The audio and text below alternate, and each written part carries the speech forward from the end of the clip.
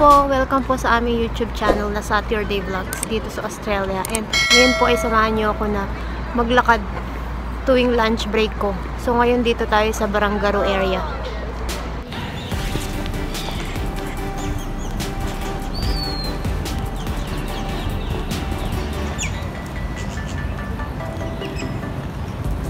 Ito ang Barangaroo area. Madaming office building dito, mga restaurants at nandito din ang Barangaroo Ferry Wharf. Napansin ko na madaming mga tao na dito kumakain ng lunch nila. Tahimik at very relaxing ang lugar. Yan yung National Maritime Museum. Yun pinuntahan natin dati, yung barko. So ngayon, samahan niyo lang ako lagi pagka lunch break ko na maglakad-lakad. Kasi first time ko lang din sa area na to. So, gusto kong explore yung mga paligid-ligid.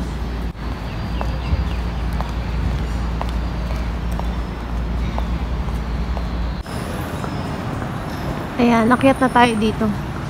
Bumalik ako sa nilakaran ko papunta kasi parang naliligaw ako. Ang daming kainan dito sa lugar na to. Iba-iba. Na hindi ko pa rin nade-discover. Pero ang dami. Tapos residential area din yung iba. Na sobrang mahal siguro. May subway. Merong Malay Chinese food. Food kaya yun. Ay, oo, take away. Ah, teka. Saan kaya makalakad? Dito naman ako maglalakad ngayon. Kasi kanina doon ako naglakad eh. Dito naman tayo ngayon maglalakad. Walang tao, so tahimik lang. Sabi sa forecast, maulan daw this week. Pero buti na lang cloudy lang kasi ang hirap maglakad pag naulan. Tawid tayo dyan. Ayan na. Ayan yung view ng building oh. Yung pinakamataas na building dito sa Sydney. May subway pala dito. Mas maganda yatang mag-subway dyan kasi tahimik. Architects Anthony Babayes and Associates. Pag gusto niyo mag-apply, meron din dito. Dito, puro commercial building. Dito yata ako lumiko kanina. Naliligaw na ako. First time ko lang dumaan sa street na to eh. Ang ganda ng view ng ano, building.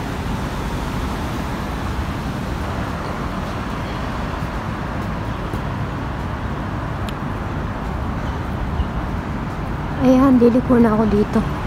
Nasa tamang daan na ako.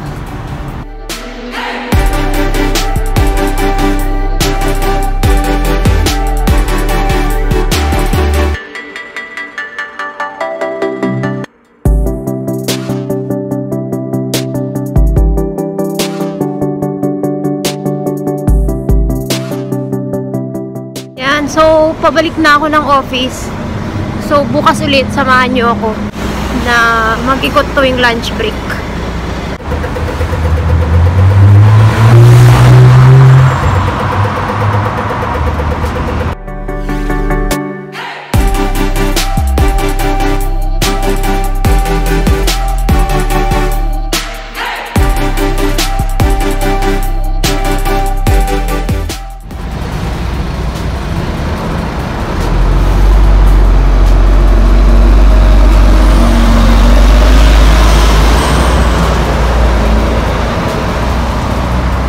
Dito naman ako naglakad ngayon sa Wynyard Park. Ang park na ito ay malapit lang sa MRT station. Madaming mga tao dito ang nakaupo pag lunch break para kumain, magbasa ng libro at iba pa.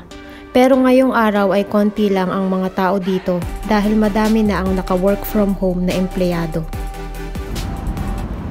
Hello po! Welcome po ulit. Lunch break na ulit. So, nandito ako sa park. Kumakain ako mag-isa. Actually, nakakain na ako. Kasi in-invite ako ng kaopisina ko. Kaso, kape lang at saka tinapay yung kinain namin. So, bumili pa ako ng rice. Para ano, para mabusog ako.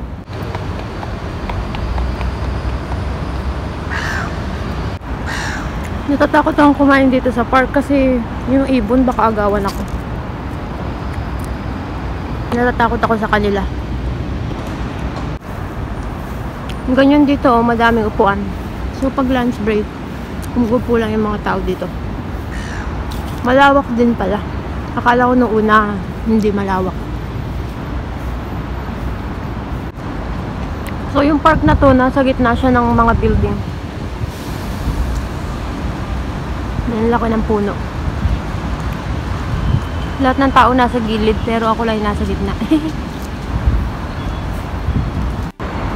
May daan pa pababa, oh. Pero next time ko na lang yan i-explore. Babalik na muna ako sa office. Kasi malilate na ako.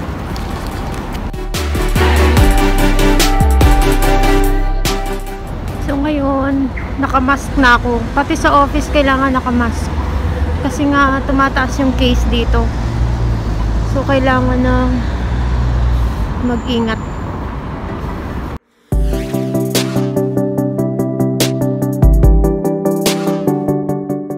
Dito naman ako naglakad ngayon sa George Street malapit sa Town Hall Station. Sa area na ito naman ay madaming shopping malls.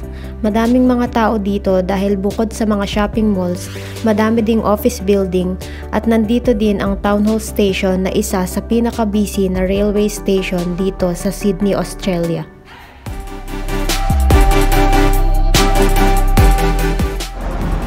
Hello po!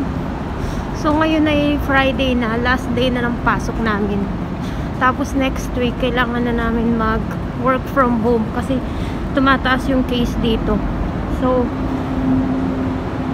sabi ng government, kailangan na daw ng work from home yung mga certain area. So, kasama kami sa mag-work from home. Kaya yun, last day na ngayong Friday na. So, next week, work from home na kami. So, salamat sa panonood nyo ng buong lunch break ko ngayong week. At sa susunod ulit kapag uh, nakabalik na kami sa office. So maraming salamat po. Hanggang sa muli. Thank you.